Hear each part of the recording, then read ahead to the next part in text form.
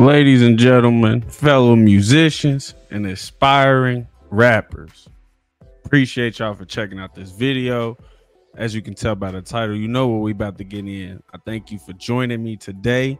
You know, we're gonna talk about a couple different topics about why rappers ain't making money and what we can make money in.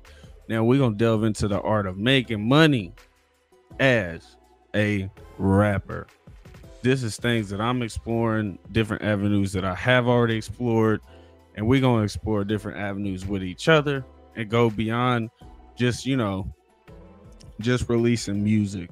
So now it's time to get going. It's time to embrace this history, man. You know, we got a lot of data at our hands and we're not really using that information and we got to actually you know, help each other and spread information a little bit quicker, you know, for each other type shit. So helps us become successful musicians, you know, over the years. you know, so that's why I'm making this video now.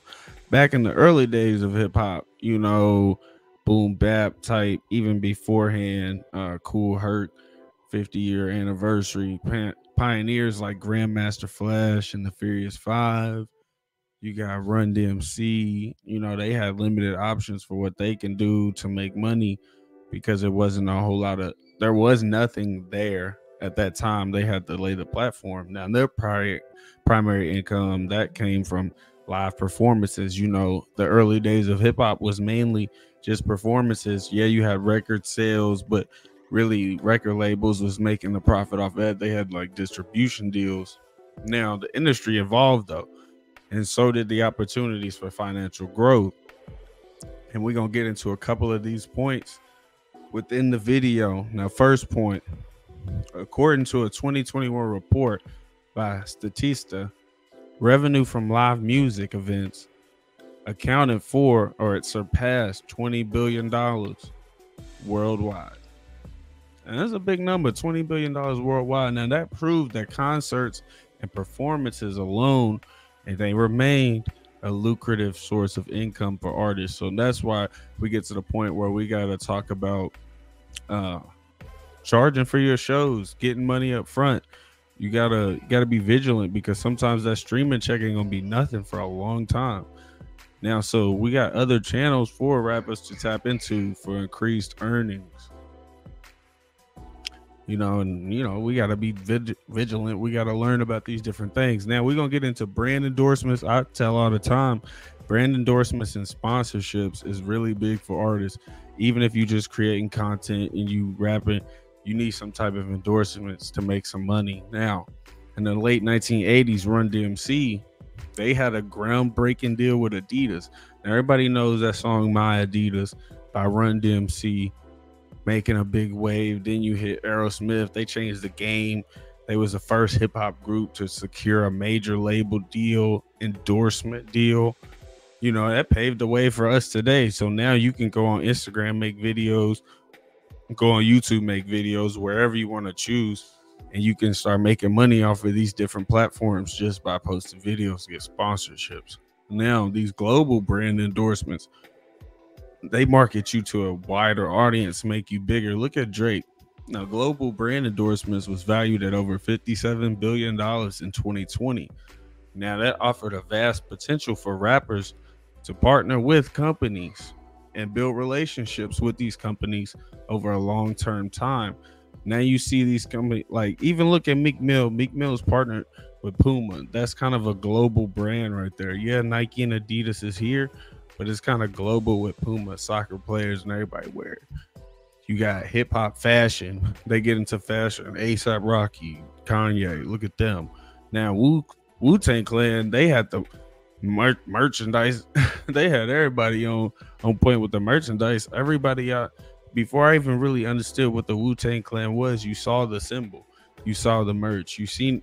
I'm pretty sure I seen it at Walmart at one point but that could be an extension of the artist's brand.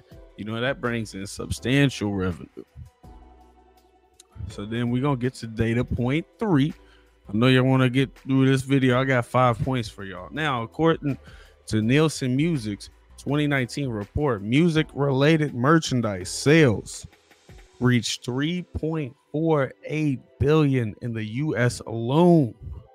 3.48 billion showcasing the immense popularity of artist merchandise. Now, if that that means you need to get a piece of that money, all in billions of dollars, you need to drop merch, create merch, get somebody to draw it up. If you ain't got no creative ability, draw it up. Now, online platforms and social media help you sell these different items of clothing, get you out there, and they brought bun- bundles back to where you can sell your albums with the merch. And the rise of the internet revolutionized that. They revolutionized music distribution, so you can get a T-shirt and an album. Now, independent artists like Chance the Rapper and Russ, you already know Russ, you already know Chance the Rapper. They leverage that online platform to build a massive fan base, and then they use that without label support and got a whole bunch of money, record deals, clothing deals, whatever. Now in 2020, the Recording Industry Association of America, that's the RIAA, reported that streaming platforms accounted for guess how much? 83% of music industry revenue. But that don't really go to the artists. That goes to those big artists that are bringing in big numbers on the streaming. So you got to hit these lower little little achievements to get there. You got to build up your online presence. You got to get some followers. You got to get some clout. You got to monetize that clout. You got to get your fan base to engage to get you somewhere else. Buy the merch, come to the show. Buy the merch, come to the show. now you have rappers like Queen Latifah, Ice Cube, Will Smith, uh, LL Cool J, Ice You know, they all got into acting. Now, acting is a big part. I want to get into acting myself, and that helps you showcase your talent and it shows that you have diversity, you know, and that helps diversify your income. I don't depending on how your contract is, the label wouldn't really get money off of you doing a movie that has nothing to do with the music, but it can help the music sell. So I don't know how that would go. Now that revenue exceeded 42 billion in 2019. And that demonstrated the vast opportunities in the entertainment industry. So if this hitting billions of dollars, if if revenue from streaming is is in the billions, and then you can go and be an actor and get some money off of that. You can sell merch, you can sell product, you could sell information, not not illegally, but you can sell the pathway to getting into the industry or networking around the industry. So, with that being said, these are these are the reasons why you're broke because you're probably not doing these things. You probably don't really give a you probably don't really give a shit about it. But if you want to do this, if you want to make money in this shit, you gotta leverage your influence to get merchandise, endorsements, build an online platform, explore activities, opportunities, and you got to become a trailblazer. You got to be one of those people who shape history and leverage the data that we have now to illustrate that, to become that, to be you. And we out, man. I appreciate y'all tuning in. Like, comment, subscribe. I'm gonna keep this video short. We're gonna come back with something more of this if y'all want it. Like, comment, subscribe.